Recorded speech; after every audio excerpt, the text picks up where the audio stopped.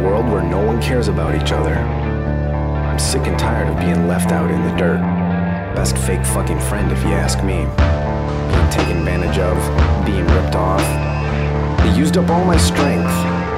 Inner circle, inner circuit. Of all the ones I can think of, connect two and two together. We need to join, regroup, and form a unit. A way to use our knowledge and common values. Doesn't matter. As long as we keep it real.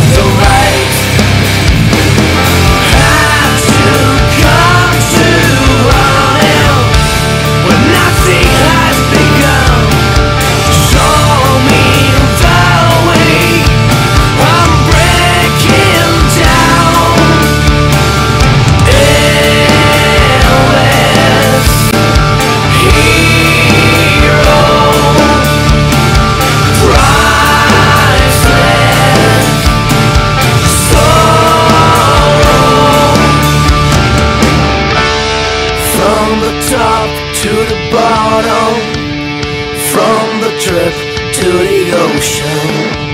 I've never seen sparks in your eyes.